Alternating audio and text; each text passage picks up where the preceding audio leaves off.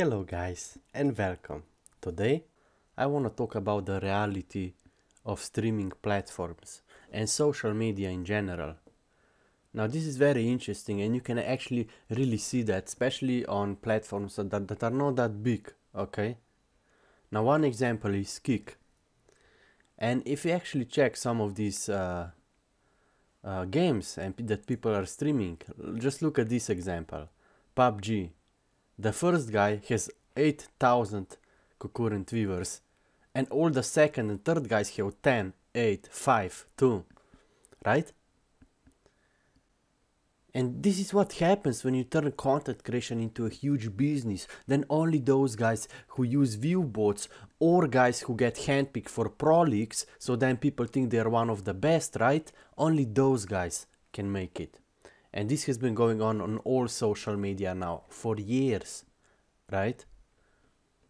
It's same on Twitch. We, we can go on Twitch, for example, right? Let's check Twitch.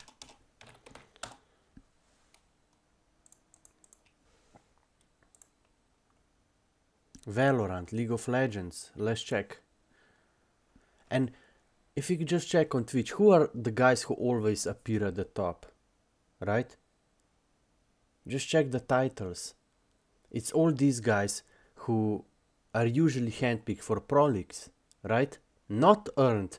They don't earn their spots via official rankings and tournaments. That's the whole essence of esports and sports. They literally got handpicked right? And everybody who got in, uh, getting handpicked by these teams or getting via friends connection, these guys will get three times more followers on social media, right? This is how people made their careers, and that's why nobody wanna talk about.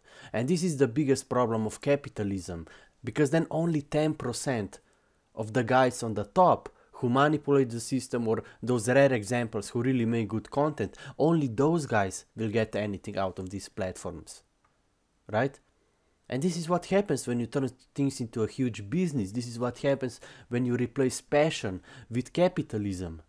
And this is the biggest problem with capitalism mentality then only 10% guys on top will make anything out of this platform. So it's or it's literally meaningless for 90% of the other guys in the community on social media, on content creation platforms to invest their energy into this because they will get nothing out of it. You're just wasting your energy. And it's almost impossible to grow.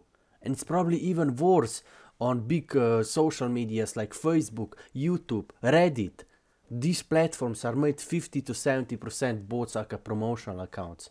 That's how bad it is. And as, a, as someone who loves esports and someone who loves gaming and content creation, it's become almost impossible and meaningless to make. And the only reason I still make videos because you know so I wanna put something out there. I mean this is the whole essence of content creation. You want you wanna share something with the world. It was about creativity, sharing your thoughts.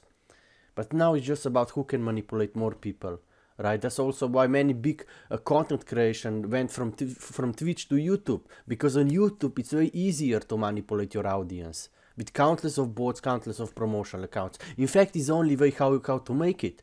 Any big content creator you watch on YouTube, for example, has been doing this for years. They manipulate viewers, they manipulate algorithm, and that's the only way how you can make it, right? And smaller platforms like Kick are typical example. Look, like the first guy has 9,000 viewers, the second has 10 viewers, right? You see, we go on teamfight tactics. First guy has 1.4 thousand viewers, and all these guys have uh, more less than 100 uh, viewers or 10 viewers. This is the reality for anybody that want to content create. It's not worth it. You either you either become a manipulator, you either become the bad guy, the business guy, or you have no chance on these platforms. That's the biggest problem. Right? So why would I stream? You know, why would I ever stream? Right? I mean, yeah, some I mean people love having good content creation with good characters, like for example Odablock, or you know, but the reality is much different for 90% of people. And it's surprising in League of Legends, you know, it's the same thing. Most of these guys who appear at the top either use view bots or they got picked for uh, handpicked for pro leagues. And then people think they have this illusion that they are one of the best, right? And they get countless of more views. And it because at the end of the day it's not just survival it's a huge business right? Capitalism everything has to be about money. And this is what happens. I mean you can literally just go um, you can write smite for example into youtube and it's always you can actually just write smite into google let's see i want to actually do uh, a, a fresh one Spremiu say okay, whatever. Let's do smite.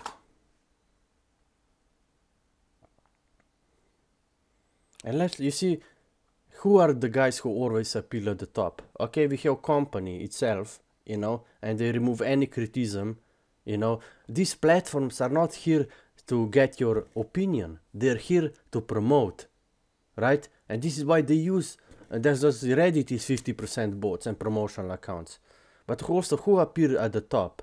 It's either guys who use promotional accounts in their videos that usually post these uh, manipulative, pretentious, positive comments under their videos, or guys who go who play on pro leagues, right? Because people think they are one of the best, right? This is the whole essence of esports.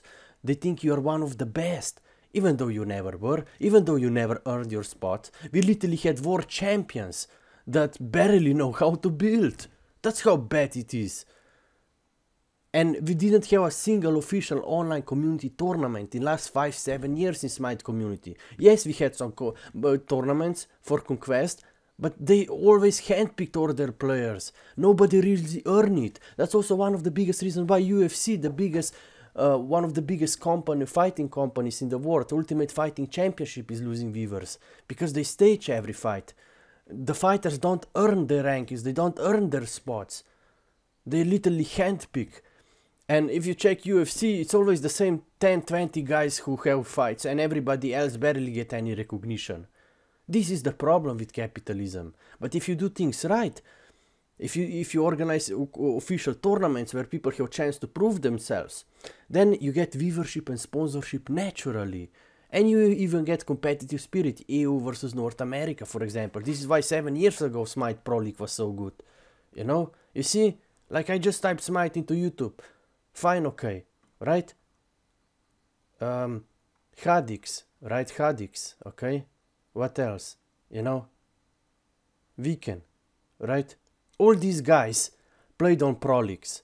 They didn't really earn it. They got in via friends connection or whatever, you know?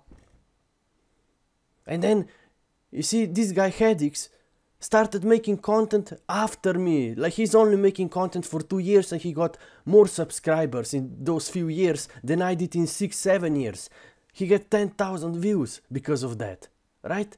And he, he makes a lot of money from these videos. Just because he got handpicked. He got handpicked for Pro League. He got, I think he, they got in via like, I don't know, Barracuda or somebody who got him in. Or Jake Paul. You know, Jake.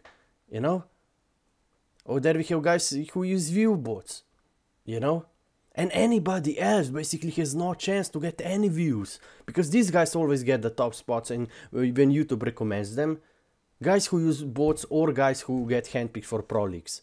And this is what happens when you turn uh, content creation and gaming into a huge business. The capitalism is destroying everything we love and we don't even realize it. That's how bad is it, it is, you know?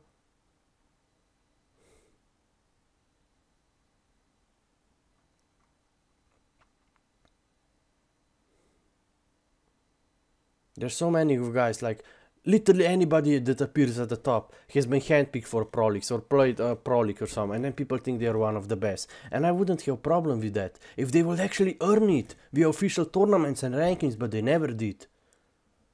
They, they, they half of them got in via friends connection. They live in North America, right? So then Hi-Rez ignored EU region, ignored international players, ignore arena players, 70% of their player base. And then they even pay pay the massive salaries on top of that. They're, they're paying the massive salaries so they gatekeep everybody else and they live in a bubble. And 80% of the rest of us who love this game, who, who put in the effort, basically has no chance. Right? That's, that's why esports is dying, because of the capitalism. You know, because only the, in capitalism, only 10% of the top guys or guys who manipulate their viewers or got in via friends connection or prayer prolix or use viewbots only those guys can any, make anything out. And it's the same on social media it's the same everywhere you know? That's why it's actually better to have a day job because you will actually get anything out of it. If you're making content for social media you're just wasting your time because you're competing against countless of bots and countless of guys who got handpicked.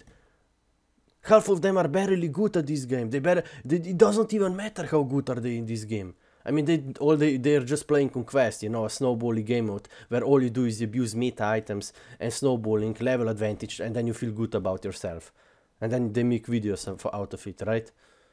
Like Jesus Christ. And these guys will never talk about this. They will never admit it because it's their whole life, their whole career is based on that, and they will never admit that to, to themselves or to the others, you know. And then we have this guy, reaction channels. You really think this guy is not using bots? You must be naive, you you know? Or, or doctor disrespect, you know? One day you will guys learn that it's just a huge business and 50 to 70% of the accounts on social media are actually bots like a promotional accounts.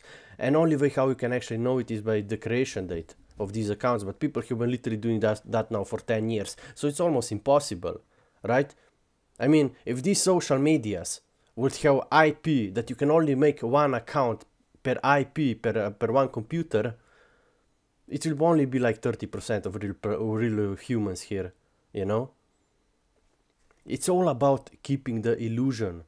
All these big companies just use YouTube and this platform as a promotion, right? They use countless of bots, countless of promotional accounts.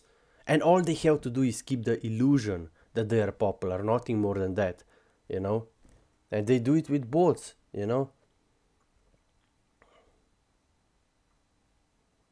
I mean, it sucks because anybody literally has no chance. I mean, my only chance is to get any views is that I share it on maybe on some Facebook groups, on Discords. But you can easily get banned there, especially if you have more non-general uh, accepted opinion or criticism, right? There is so much problems when it comes to this that that's why esports is, they literally destroyed capitalism is destroying everything we love you know i spent seven years on making videos for youtube i basically has no chance i spent 10 years to play smite it was one more, one of my favorite games. That didn't the game itself didn't improve in last seven years. They destroyed Pro League, they destroyed Arena rank scene. What could make Smite two three times more popular? But guess what? You know, don't expect don't expect passion and love from guys who only care about capitalism the guys who only care about making money. You really think half of these big youtubers would play these games if they wouldn't make money out of it? No they wouldn't. So you really ask yourself do these guys even really love the game? Or they just want trying to make money out of it right